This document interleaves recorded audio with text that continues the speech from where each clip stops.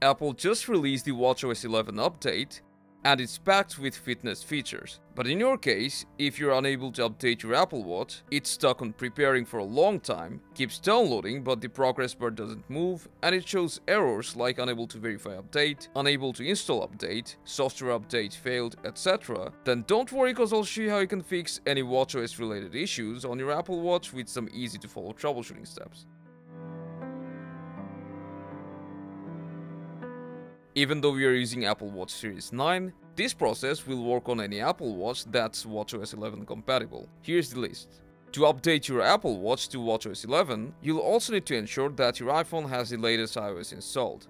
Then you'll need to check that your Apple Watch has enough storage and has at least 50% battery. And it's recommended that you keep it connected to a charger while you're updating. Now, if you're updating your watch from the watch itself, then make sure that your watch is connected to a Wi-Fi network. And if you're having issues updating your watch with a 2.4G network, then try switching to 5G and vice versa. And in case you're updating from phone, keep your phone and your watch nearby and make sure that Wi-Fi and Bluetooth is turned on on both devices. After following these basic steps, if you're still having trouble updating, then restart both your iPhone and your Apple Watch and try the update again.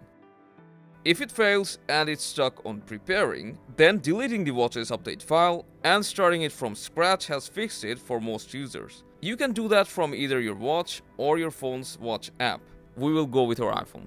So open the watch app, then go to general, scroll down and select storage. Now tap on watchOS and hit delete. After that, you shouldn't be stuck on pending or downloading. If deleting the update file didn't help, then we will move to the final step that will fix it for all of you. For this, you'll need to unpair your watch from your iPhone. After it's unpaired, set up your watch again, but don't restore backup. So set it up as a new watch. After that, try updating your watch and it should work. And when your watch is updated, if you want to restore your data, then you'll need to unpair and set it up again, but this time select restore backup. And that's all. Now your Apple Watch is updated to WatchOS 11 and you have all your data intact. So let us know which step worked and if you found this helpful, let us know by giving this video a thumbs up, subscribe and I'll see you in the next one.